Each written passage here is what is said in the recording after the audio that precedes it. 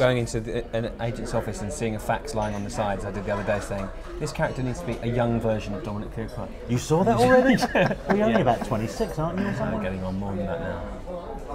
Well, it seems like you. but it seems like you kind of yearn to be a character actor as much as as handsome as you are. That that's part of your your. I hope so. Careful, What- his what wife's in the room. for? I told you they were swingers. I know you did. You did say that over there. You preempted that. He was right. Yeah. I, well, I, I.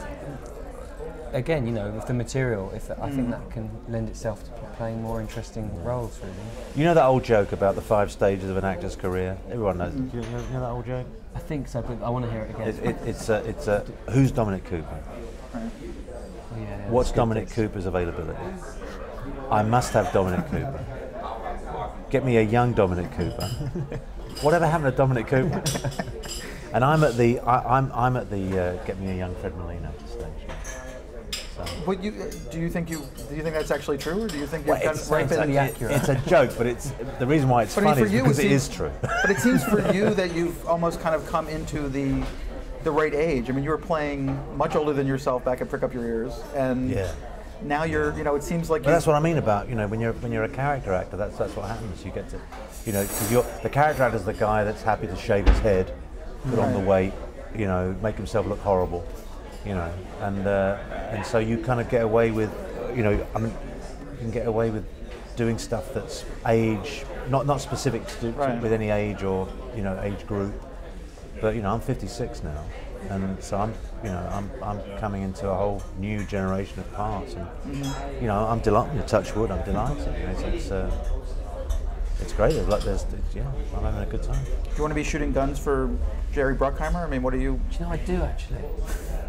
I just suddenly had an urge to do something like that. I mean, is that where your career? done anything like Do you want to be that guy? I mean, do you want to be the guy who's the action hero kind of actor, No. or do you want to? No, I have no idea. I, I, I- I- to be honest, I've been extraordinarily lucky with the with the, the writing. I mean, having just worked, done this particular screenplay with Nick mm-hmm. Hornby, having done a piece by Alan Bennett, who suddenly you crave You've been decent. Really, I think so because you Yeah. just you look you then look at scripts and you go, well, I want to be able to say those kind of lines, I want that kind of dialogue and that kind of interaction with other actors that's totally truthful, witty, mm-hmm. and, and very believable and, and meaty and fun to fun to express. And unfortunately, the truth is more and more what I see that that's it's not always the case. Um, but that's what I really would like to do. But I, I've never ever had an ultimate plan or, or thought exactly what direction I'd like to go in or what kind of things I'd like to do. I don't think you ever do really. I, I think you know, I think career is really what's behind you. You know, you're, you look back on a career.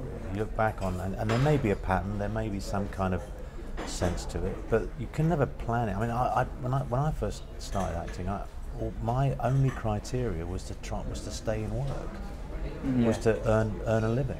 So whatever came up, I go yeah, and I had no idea where it would take me. So, I, and I think for British actors, that's pretty much typical. You know, you, mm-hmm. so you It's do. very difficult to get out of that mindset as well, isn't it? Yeah, It's so yeah. installed in you. that- Yeah, you don't. You never really. I mean, if you're lucky, you you reach a point where you can get more fussy, you can be a bit more choosy, or you might have a choice. You know, there might be two or three jobs that you can choose from, but most of the time, it's whatever comes up next, and you, know, you kind of go for it. Is it fun to go from the giant machine of something like uh, Spider-Man to Yeah. a little movie like this? Where Yeah, well, I've just wrapped on a Jerry Bruckheimer production. You know, it's- I, I did two in a row, and, and it's like massive. It's this kind. Of, it's like a.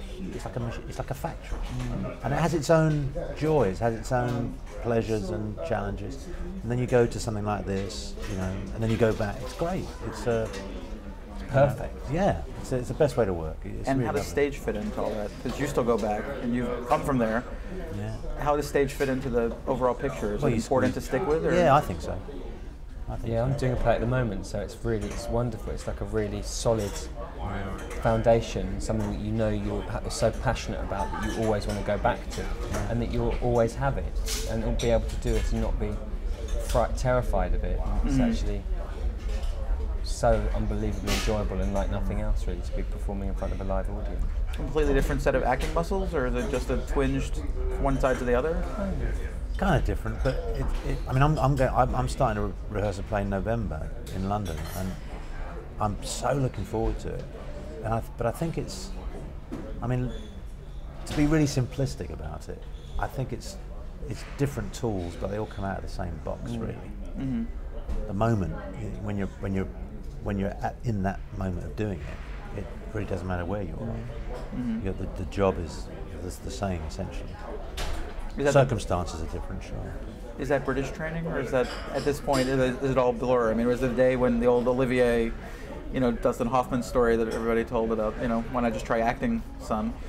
Um, Well, that's yeah, but well, that well, with all due respect, I think that's. I mean, it's a very funny story. It's a great story, but I think that's more to do with with uh, an older actor's prejudice rather than any kind of real significant cultural or artistic difference between American actors and British actors. I mean, that was a generational thing. You know, I mean, most.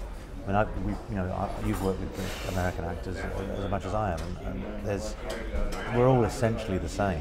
You know, there, there, there is, there are, there are, there are differences maybe in technique or, you know, but it's not, there isn't that kind of sort of schism between them in terms, you know. It's ultimately just about truth, isn't it? Truth in the Yeah. moment. Believing what your Yeah. person you're working with. And Unless you're like saying. me. Unless, unless you're like me, where you work from the outside out. That's the only difference. You know. But I'm unique in that way.